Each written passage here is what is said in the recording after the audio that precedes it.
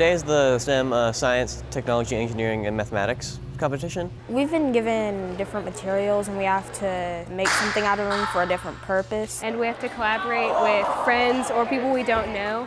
And we have to complete these challenges and see who can do the best. The first one that we did today was a zip line. We had to have marshmallows inside three cups and make sure they went down safely and went down faster than everyone else's. The device that you connect to the line, that was probably the most challenging. We did pretty good. There was only two of us, so we had a slight disadvantage, but we still worked as hard as we could. You have to be really careful with how you plan this out. Engineering isn't as easy as it seems and you always have to troubleshoot. Getting used to knowing unfamiliar situations, you have to learn adaptability because without that, you're not going to get very far. I learned how to work as a team. Definitely teamwork and getting to know different people's ideas because I've not always been very good at that. When you're learning with other people, you kind of have to get to know them better to make sure you all have the good idea. If only one person is working, then I mean, it, you only have one brain working and if you have other people, they might have something that might work better than what you had in mind. I think it is a very important part of this challenge. If you are not a coordinated team, you're not going to succeed. There'll be a lot of disagreements, just nothing's going to really get done.